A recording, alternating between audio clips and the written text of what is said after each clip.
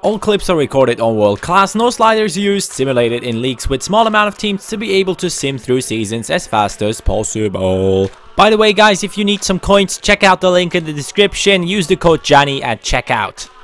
Hey hey assistant coach, how are you doing? It is me Cani Sports and today we are reviewing Divock Origi, the player from Liverpool, 19 years old from Belgium, 6 foot 1 tall, left winger, center forward, right footed, high medium work rates, 3 star weak foot and skills. His best position in my opinion is the center forward position.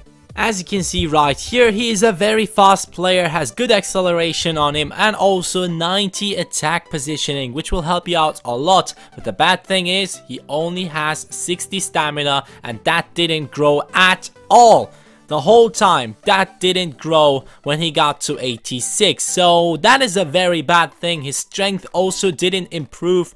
But we will see how it will turn out in the end. Let's take a look at his skill attributes. This guy has 92 ball control, 93 dribbling, he has decent shot power on him, also 78 finishing, still not really the best thing to have with a striker, but I'll talk about that later on.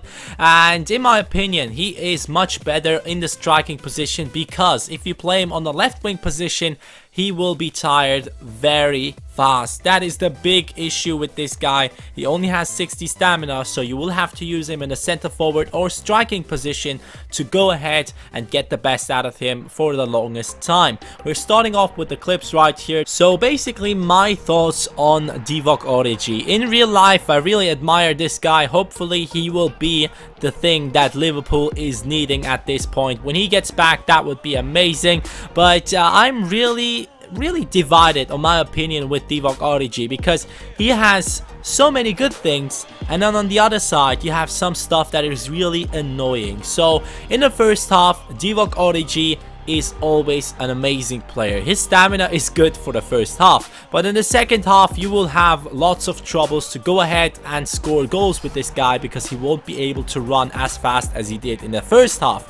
And basically, one thing that I really loved about him is he gets past defenders very easily. That's a good thing because he's a bit taller. He has okay strength, nothing too special. I think it's 72, but because he's such a tall player, he's really able to get past defenders and also using his pace, that is going to be helping him out to get past defenders easily.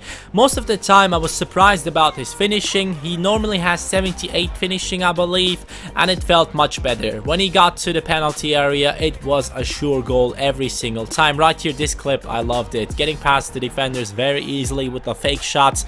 But Divock Origi, I am still divided on my opinion because you guys know that I hate players with low stamina but I found a way to play with Origi. You will have to play a formation with one striker and then sub him off after the 70th minute and get in a player like let's say Villalba who has a lot of pace and gets past defenders very easily when they are tired. So I would recommend using a false 9 formation with this guy. Best thing is to go ahead and score goals until the 70th minute and then sub him off because he might get injured easily when he has low stamina.